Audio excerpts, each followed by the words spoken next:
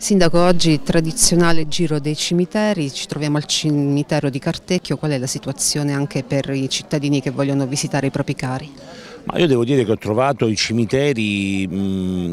in, ottime condizioni, la TEAM ha lavorato molto nel, negli ultimi mesi e nelle ultime settimane per farli trovare pronti. È chiaro che ci sono delle aree che sono ancora inaccessibili, però devo dire che è stato fatto davvero un grande lavoro.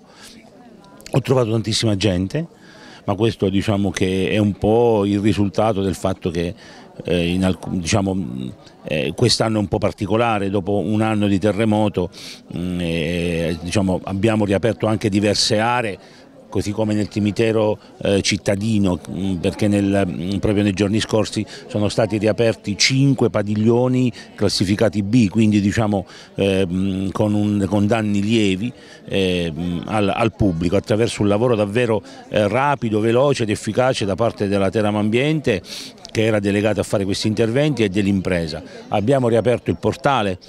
che era chiuso oramai da quasi un anno, anche qui l'impresa è stata davvero brava e, e, quindi adesso restano soltanto le zone eh, per il cimitero cittadino, le zone di Chiaratee che poi fanno, sono quelle che fanno parte del cimitero monumentale che però vedete la bella iniziativa della TEAM che ha posizionato dei portafiori mh, in modo che i, propri, diciamo, i, cittadini possano lasciare un fiore ai propri cari. Su questo discorso dei, cimiteri, del cimitero urbano abbiamo richiesto ho richiesto alla protezione civile un, un gruppo, un GTS, cioè un'ulteriore verifica dei cimiteri della parte monumentale del cimitero perché vogliamo, ove ci sia la possibilità, eh, tramite un piccolo intervento, riaprirli al pubblico.